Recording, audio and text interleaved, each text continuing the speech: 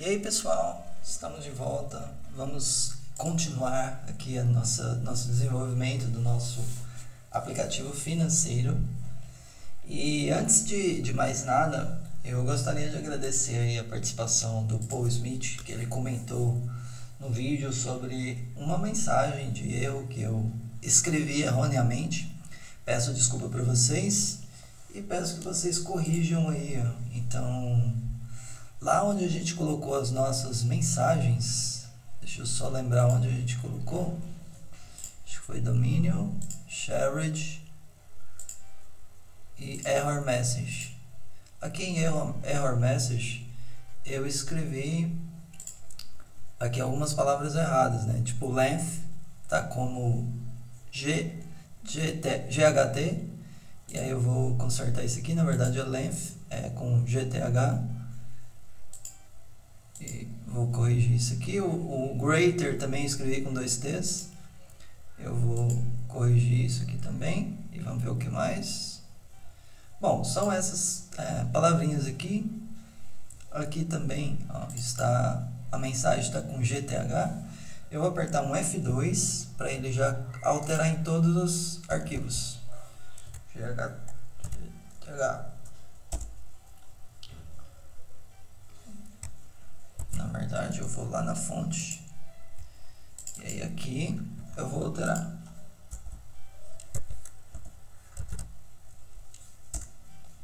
Isso notem que ele já altera em todos os arquivos então agora sim aqui já alterou aqui alterou. E agora vamos nesse aqui também então, apertando F2 ele te dá, abre essa caixinha você altera para todos os arquivos. Aqui também. E aqui também F2. TH. Beleza. Já alterou. Já corrigiu aqui também. Agora esse aqui.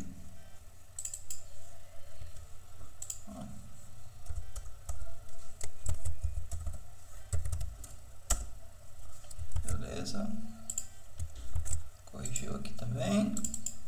Agora esse aqui. Beleza, foi.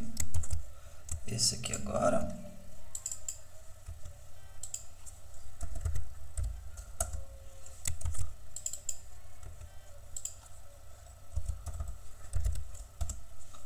Beleza, assim corrigimos. E vamos ver aqui se está tudo correto agora. Só tem aqui que eu preciso consertar agora na fonte.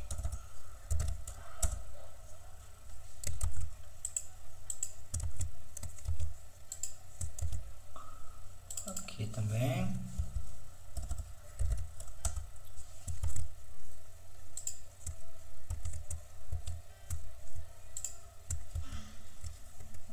Salvar e fechar. Aqui também. Beleza. Beleza.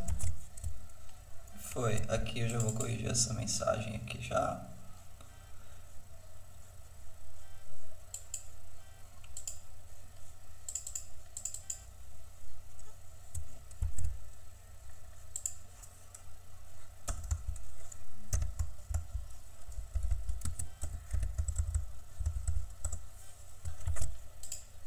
Beleza.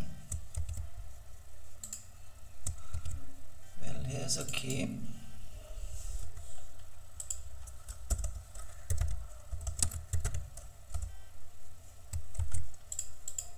Ele já altera nos outros arquivos, aí você só salva esses arquivos que ele alterou. E beleza, eu acho que é isso. Ah, vamos ver aqui. Bom, é isso galera. Então já corrigimos aqui nossa mensagem. E aí vocês devem se perguntar qual extensão que eu estou usando aqui para ver os erros ortográficos, né? E aí eu instalei essa dependênciazinha aqui, ó. É... Cadê? Vamos ver aqui.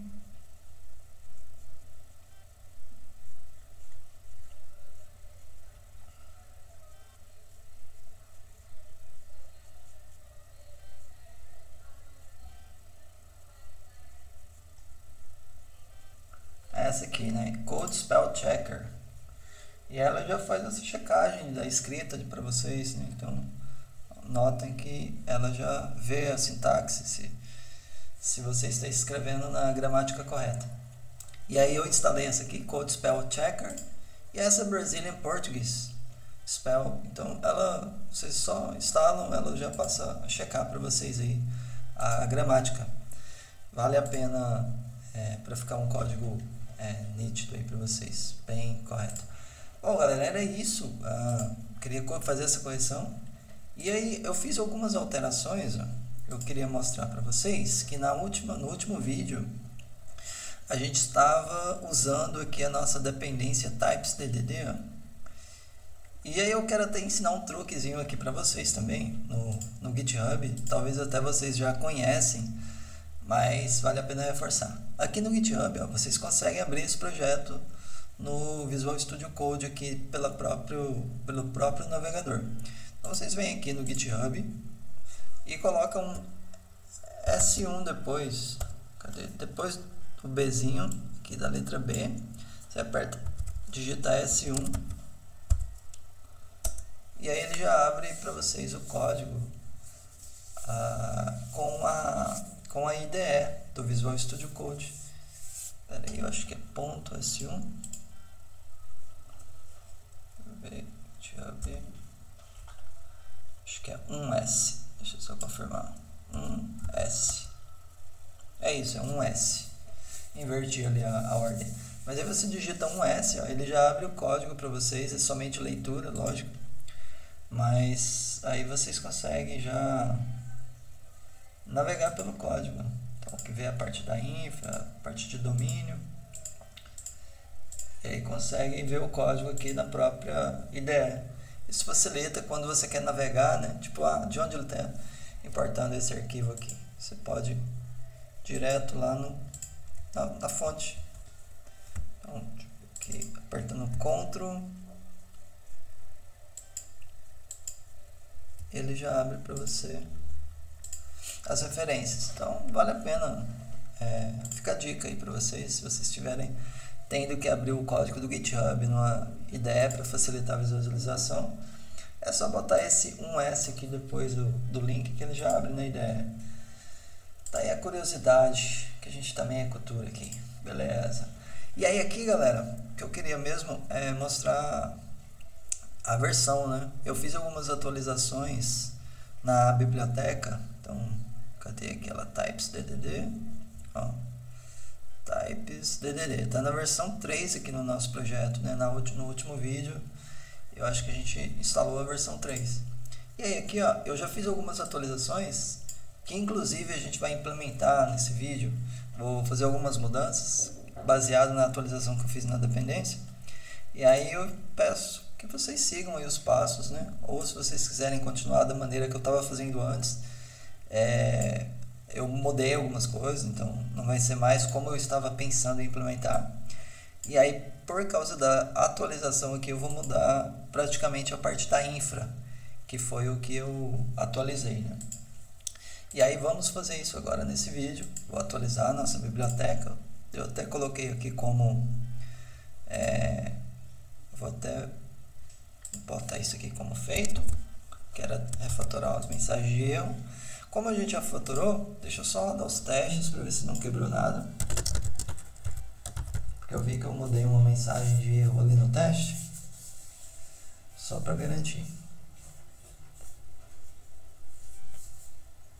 Aí, enquanto roda o teste aqui, o que, que a gente vai fazer? A gente vai atualizar nossa dependência do, do Types DDD e vamos instalar aqui o Mongoose e vamos finalmente começar a, a desenvolver aqui nossos esquemas, né? Beleza, não quebrou nenhum teste. E aí aqui vamos já atualizar aqui a nossa dependência do types DDD. E aí como que eu faço isso? Né? Aqui a gente tem, é, eu estou com a versão 3, eu acho que aqui no projeto até tá, versão 3, ó. e aí eu preciso instalar a última versão, que é a versão 8, 0.8 aqui, né? E aí como que a gente faz isso? A gente já instalou. Então eu posso dar um yarn upgrade é, types ddd menos menos latest E aí aqui ele já atualiza pra gente.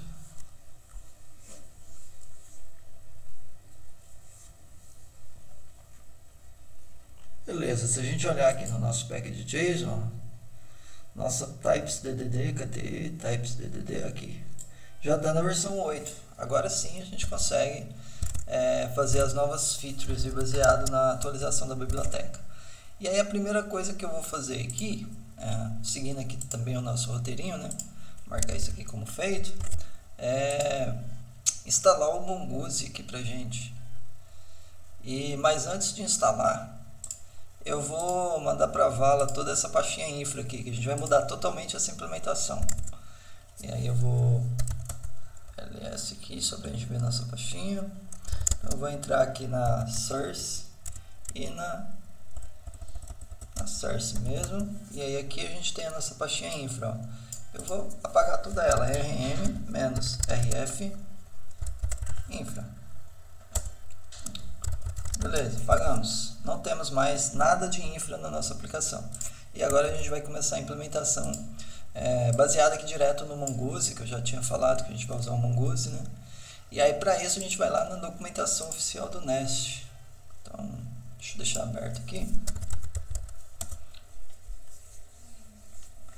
E aí aqui na documentação do Nest, a gente vai pesquisar aqui, ó, Mongoose.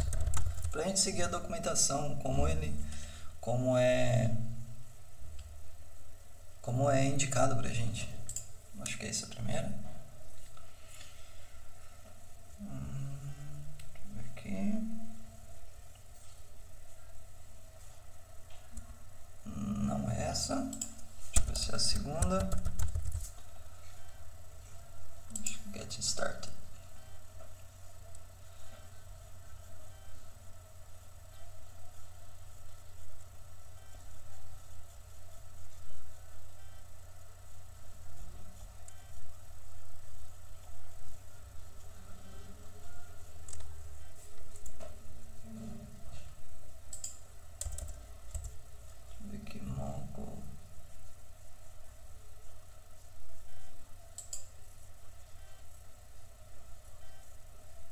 essa aqui que eu quero, do, do Mongo direto.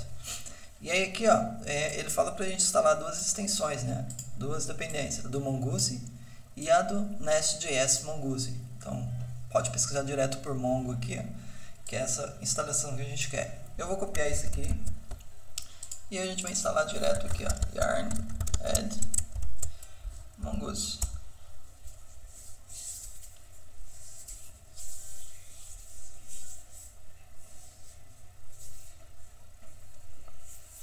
Bom, enquanto instala aqui, já, já instalou até, a gente vai dar uma olhada aqui como que ele importa, né? Como que ele... A gente não vai fazer essa configuração do módulo ainda, por enquanto a gente vai focar só lá na parte da infra dos esquemas. E aí aqui ele dá até um modelo, né, pra gente seguir, ó, é, como que a gente faz a, no Mongo ó, os esquemas, baseado aqui no Nest.js Mongoose. E aí a gente vai seguir essa estruturinha aqui, né? Então, voltando lá para o nosso projeto, deixa eu só marcar isso aqui como feito. E aí aqui a gente vai criar o nosso, vamos lá para cima agora, criar o nosso esquema. Aqui, ele, aqui tipo, eu coloquei como interface, mas só para vocês entenderem. É, essa parte aqui, ó, é, essa classe aqui é a nossa interface. Então o Mongoose já trata isso como é, algo que você pode deixar no mesmo arquivo. Né? A gente não precisa da interface é, para definir essa, essa estrutura. A gente pode usar essa própria classe aqui como a interface que a gente vai usar em outros arquivos, como exemplo lá do nosso repositório. E aí a gente deixa isso aqui direto é, já valendo como interface, para a gente não precisar ter dois arquivos. Aí aqui o tipo, ele, é, ele define aqui como cat document, né? E aí é a nossa interface, nossa classe aqui, mais o document que ele importa aqui do Mongoose. E aí isso fica sendo o nosso document.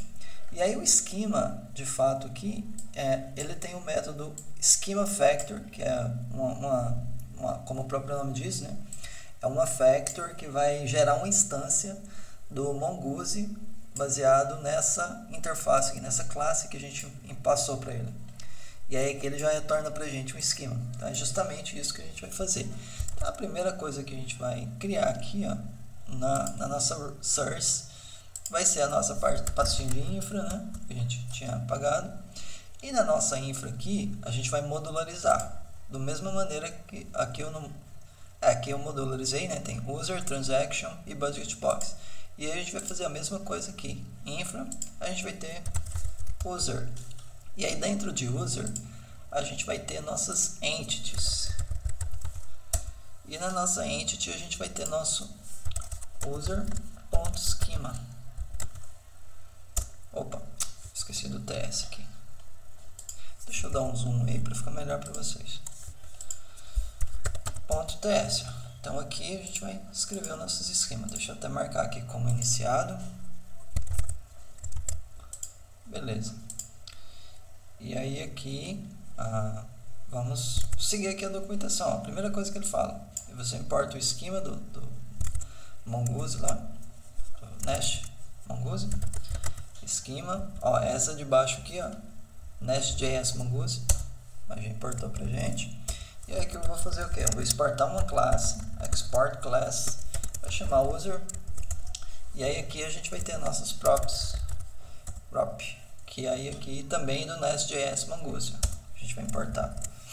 E aí aqui eu vou até pegar lá o nossa nossa baseado na nossa interface do nosso usuário Vamos ver o que, que o nosso usuário tem. Vamos ver aqui, aggregate, user, user, aggregate. Ah, tem até um erro aqui, a extensãozinha, ela é muito boa, que ela fala isso pra gente. E aí eu vou lá no, vou dar um F2 aqui, e na verdade aqui é a vai label. E aí ela já altera em todos os lugares pra gente, ó. Então, à medida que a gente for pegando esses errinhos assim, a gente já vai consertando. Então, beleza? E aí aqui é no nosso user aggregate, né, que estava escrito available, mas na verdade é available. Beleza, aqui também, ó, só que isso aqui é só uma documentação, né? Então, não tem tanto problema. Available. Beleza? E aí aqui, ah, ó, então ele tem o e-mail, password, budget box, que é um array. Tem o aqui também, cara. Ah, vai label. Salvar aqui, salvar aqui. Beleza. Eu vou fazer, vou, vou copiar tudo isso aqui. Só ou melhor, eu posso vir aqui nas properties e copiar essas properties dele. E aí, vou fechar isso aqui. E aí eu vou até botar aqui em cima para a gente usar como referência, né? Ó, então a gente vai ter o e-mail.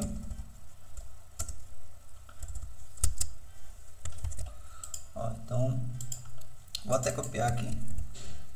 Vamos ter o e-mail. Que vai ser um campo obrigatório e vai ser um string. E aí eu vou copiar isso aqui, duplicar para todos os outros. A gente tem mais quatro. Um, dois, três, quatro. E mais um aqui para cima, que não tem, que é o nosso ID. E aí eu vou até fazer aqui já, o ID. Aí depois a gente vai ter o nosso password. Opa, tô no meio a gente vai ter. Uh, vamos ter os nossos budget box IDs total label. E por último aqui os terms. E aí vai ter mais dois aqui que não está no nosso domínio lá mas é, é nosso created at e o updated at então created at que vai ser aqui do tipo depois eu mudo isso aqui mas já é importante só a gente mapear de primeiro os nossos métodos, nossos, nossos atributos aqui. Então, updated at do tipo date. Então, beleza, esse aqui é a nossa interface. E é isso que agora eu posso só é, vendo aqui, né, os nossos termos é um array e o nosso budget box também. Então, budget box aí aqui vai ser um array. E aí aqui cadê aqui no termos aqui também vai ser um array. Aí aqui não vai ser um array de string, mas vamos por partes. Ah, beleza. Show de bola. Então aqui criamos a nossa interface. É, agora eu preciso é, definir aqui, ó, esse props ele aceita ele aceita alguns algumas configurações aqui dentro dele. Então, se a gente pôr o mouse aqui em cima, ele fala que aceita options, que é do tipo prop options. E aí a gente pode abrir um objeto aqui que a gente vai dar um contra espaço, ele aceita tudo isso aqui, né? E aí uma coisa que eu gosto de definir sempre, quando a gente está em desenvolvimento, é o auto create. Então, o create option auto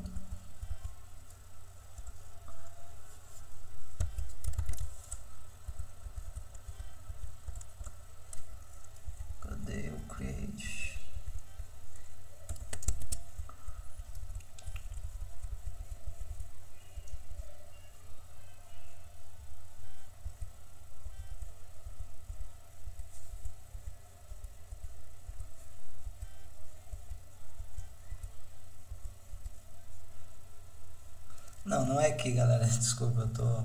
É aqui em cima que eu faço o auto create, ó. O auto create aqui é, é relacionado ao esquema, né? Então, eu gosto de deixar esse auto create true, que ele vai criar o esquema lá no, no Mongo pra gente. E a outra coisa que eu deixo aqui é o timestamp. E eu coloco como true. E aí ele vai usar essas duas esses dois, dois, dois, dois atributos aqui para gerar nossas datas. Então ele até fala aqui, ó The timestamps options tells Mongoose to assign created at and updated at fields to your schema. Então, ele sempre vai atualizar esses dois campos. E a outra coisa aqui também que eu gosto de usar é o auto-index. E aí eu deixo ele como true também, que ele vai gerar automaticamente os index para gente. Bom, aí, é, do esquema, das configurações do esquema aqui em cima é isso.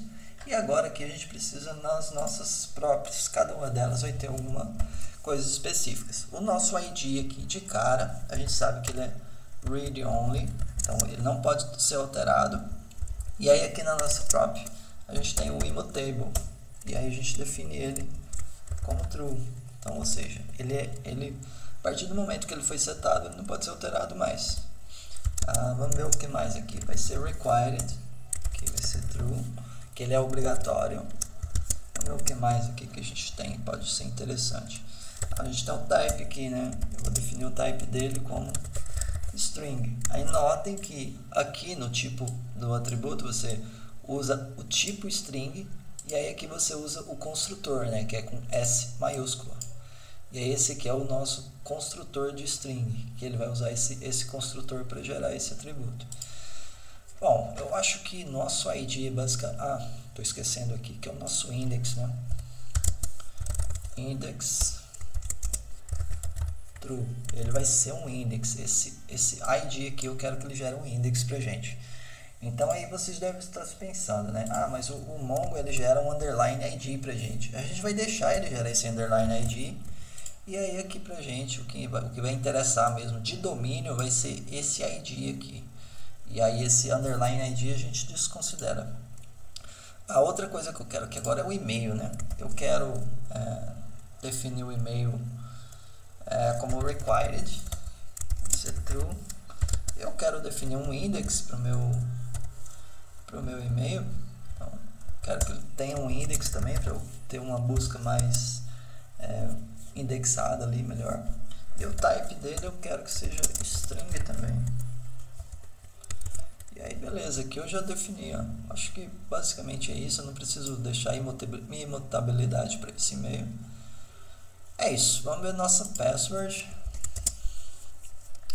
Eu vou deixar o type string. Aqui não vou precisar de index, eu vou deixar ela como required true. E é isso. E aí aqui agora é o nosso budget box esse budget box ele vai ser uma relação. Então, uh, por enquanto a gente ainda não tem esse esquema, então é, a gente vai deixar ele como sendo um array de string por enquanto. Então, daí depois a gente a gente faz esse, essa, esse, essa, esse relacionamento. Mas aí aqui por enquanto eu vou deixar o type dele como array. Vou deixar ele como default, que vai ser um array vazio. E o que mais? Acho que por enquanto é isso. Eu vou deixar ele como um array simples de string e aí depois a gente, a gente corrige isso. É, total variable aqui vai ser type number e aqui vai ser required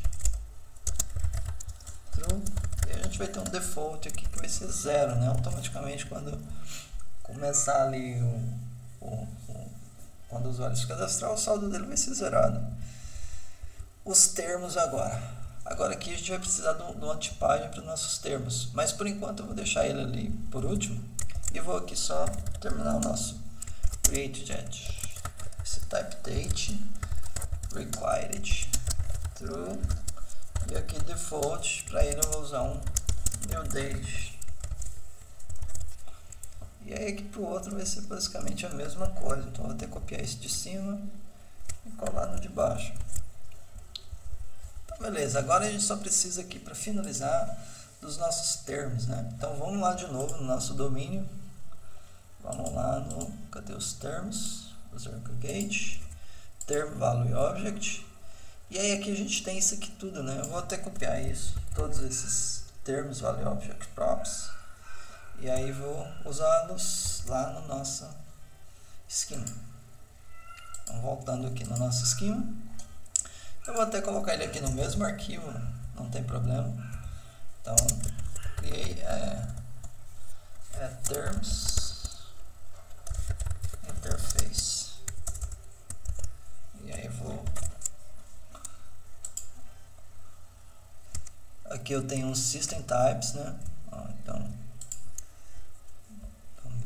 mais aqui, que é um value object, IP, vamos ver esse value object aqui, deixa eu,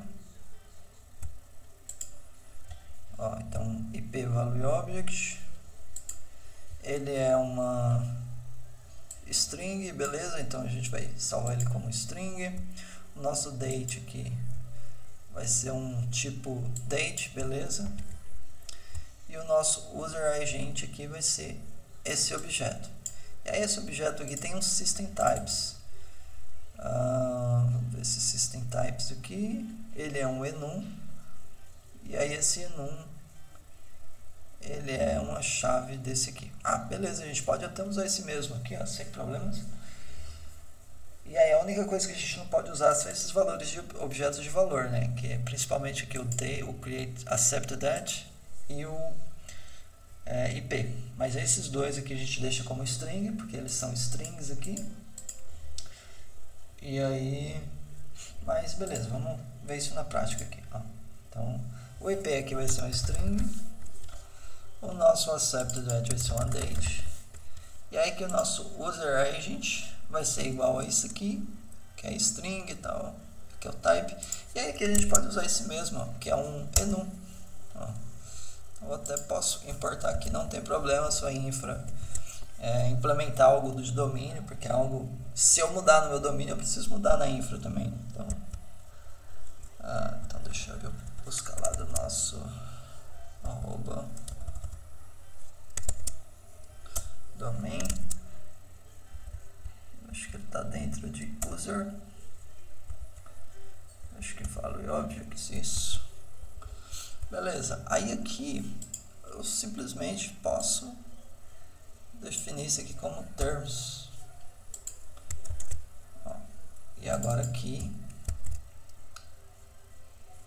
eu falo que meu termo, ao invés de ser um array, eu vou definir ele aqui, ó, até diferente aqui. Eu vou falar que ele é um array de termo. E aí aqui em cima eu vou falar que ele é do type array Vamos ver se ele vai aceitar. Eu não lembro se ele aceita. Uh, acho que é. Aqui é diferente. Acho que aqui é assim. A gente coloca ele dentro de um colchetes. Mas ele não vai aceitar. Então eu vou deixar ele só como um array mesmo. E aí aqui, o que mais que eu preciso definir? É required true e acho que é isso. Acho que por enquanto é isso. Aí aqui agora, ó, então aqui a gente tem a nossa interface, né? Essa aqui é a nossa interface. E aí que eu posso falar que isso aqui está feito. Done. Só que não basta eu ter a interface, eu preciso ter também aqui o tipo, né?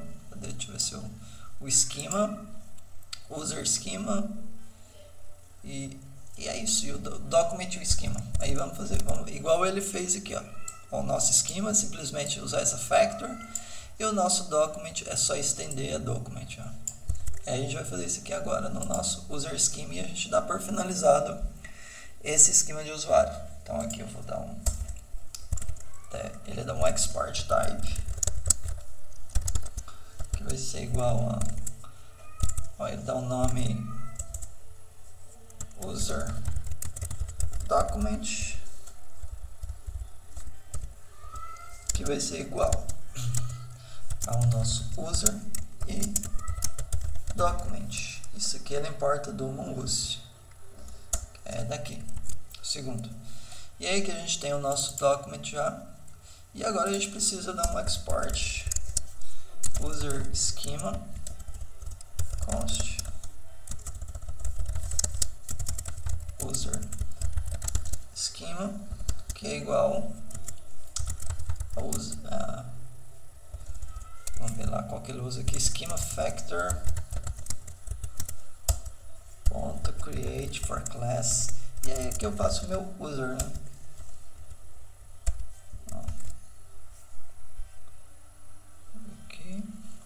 demorou a ler um pouquinho, mas deu certo. E aí aqui é isso. Temos aqui então nossa nossa nossa interface aqui, que é a nossa classe.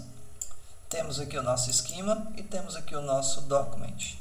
E aí que eu só defini uma interface para definir aqui o nosso o nosso tipo aqui para os nossos termos, né? Que vai ser um array de termos e basicamente isso. Temos aqui pronto então o nosso esquema, galera. Então vou até marcar aqui como concluído. User esquema. E aí vamos ver o próximo aqui que eu tinha falado sobre o repositório, né? É, mas a gente não vai fazer o repositório agora, a gente vai fazer o no próximo vídeo aqui a gente vai fazer o user mapper, que é aí sim que vem as mudanças que, que serão implementadas a partir da atualização da, da bibliotecazinha lá. Então vejo vocês no próximo vídeo aí. Espero que vocês estejam gostando. Agora vai ficar um pouquinho mais prático, vai ficar um pouquinho melhor com a atualização da, da biblioteca, que vai ficar mais objetiva, né? É, não vou usar, vou usar mais coisas prontas lá, ao invés de a gente ter que criar coisas do zero. Mas vejo vocês aí no próximo vídeo e até lá!